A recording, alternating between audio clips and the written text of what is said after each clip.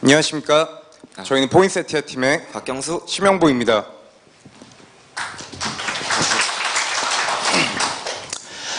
여러분, 현재 한국 사회는 저출산과 고령화 이 두 가지 문제에 봉착해 있습니다. 이로써 생산 가능 인구는 계속해서 감소를 할 것이고, 어, 우리가 1인당 감당을 해야 되는 그런 부양 비용도 역시나 계속 나날이 증가를 할 것입니다. 따라서 저희 팀은 인구가 늘어야 하는 가장 중요한 이유는 바로 이런 부담 비용을 줄이는 경제적인 측면에 있다고 생각을 했습니다. 또한 한국 사회는 계속해서 저성장을 지속하고 있죠. 우리는 복지 수요는 계속 나날이 증가하고 있지만 우리는 저성장 시대에 접어들기 전 충분한 연금 체제를 구축하지 못했습니다. 따라서 저희는 인구를 증가시키는 동시에 인구를 늘려야 하는 이유, 바로 세수 확보가 절실한 상황입니다. 그렇지만 단순하게 우리가 저출산의 그런 본질적인 원인들을 해결하지 못한 채 여러분 애, 애 많이 낳아요 라는 식의 그런 출산 장려만으로는 저희의 인구 문제를 해결할 수가 없습니다. 따라서 본 팀은 대한민국의 인구 증가와 세수 확보를 위해 혜택 국민 제도를 제안하는 바입니다. 자, 혜택 국민이란 외국인 중 우리의 강점, 우리만이 해줄 수 있는 혜택을 누리고 세금을 내는 제한된 의미의 국민입니다. 그리고 우리가 그들에게 적절한 서비스를 제공할 때 우리는 비로소 국민이 생겨 인구가 증가할 것이고 세수 확보도 가능할 것입니다.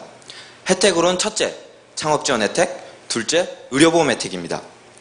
혜택 국민의 첫 번째 혜택, 창업지원 혜택의 핵심은 정부의 창업지원을 그들에게도 동일하게 제공하자는 것입니다.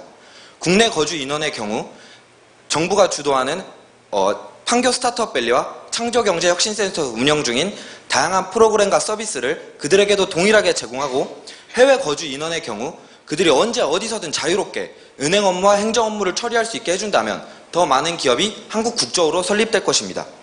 법인세에 있어서도 단순히 감면 또는 면세에서 벗어나 법인 세율을 매기는 소득 구간을 더 세분화시킨다면 소득 구조가 다양한 많은 기업들이 한국을 찾게 될 것입니다. 둘째, 의료보험 혜택입니다.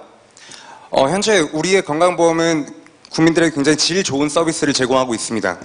그리고 한 해 약 30만 명의 외국인들이 의료 관광을 목적으로 한국을 방문한다는 것을 고려를 해봤을 때 이들에게 국민 건강보험의 혜택까지 우리가 준다면 이들이 약간의 세금을 내긴 하지만 결과적으로 한국에서 진료를 받는 것이 경제적으로, 질적으로 더 낫다고 판단이 된다면 많은 외국인들이 혜택 국민을 신청을 하게 될 것입니다.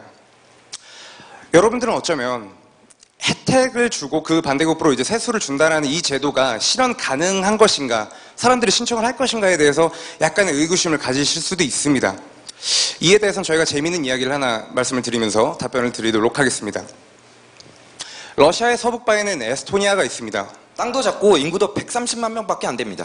소련에서 해체한 지, 소련에서 독립한 지 10년 뒤부터는 굉장히 급격한 경제 성장을 보였습니다. 스카이프의 발상지기도 하죠. 그리고 그 경제 성장의 배경엔 공공 데이터베이스가 있었습니다. 자, 여러분 공인인증서로 인터넷 거래하시죠? 마찬가지로 공공 데이터베이스란 주민등록증 같은 작은 디지털 아이디 카드 하나로 어디서든 법인 설립, 대학 입시, 금융 거래 이 모든 걸 다 가능하게 해주는 것입니다. 그럼에도 에스토니아는 이 인구가 130만 명밖에 안 됐기 때문에 어, 그 적은 인구에 대한 고민을 지속합니다. 그러다 굉장히 기발한 아이디어를 내게 되죠. 바로 온라인 국민으로 신청하는 모든 외국인들에게 이와 같은 똑같은 서비스를 제공하기로 한 겁니다. 그리고 2014년 프로그램을 시작한 지 단 1년 만에 7,000명 이상의 외국인들이 온라인 국민으로 신청을 하였고 그중 500여 명의 사업가들은 에스토니아 내 250개 새로운 회사를 설립하기에 이릅니다. 이 에스토니아 사례 같은 경우에는 분명 이 혜택 국민 제도가 실현 가능하다는 것을 반증하고 있는 것입니다. 본팀 포인세티아는 혜택의 반대급부로서 세수를 확보하는 것, 그리고 이로써 혜택 국민의 증가, 인구의 증가에 대해 말씀드렸습니다.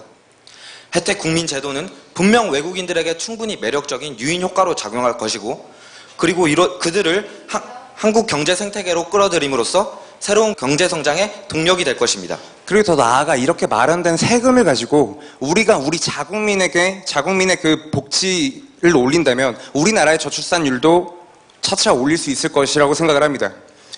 우리가 우리의 시선을 오직 그 문제들에만 맞출 것이 아니라 우리의 장점, 우리의 우수성과 함께 조명을 할 때 비로소 우리는 1억 명의 대한민국을 꿈꿀 수 있을 것입니다. 감사합니다. 감사합니다.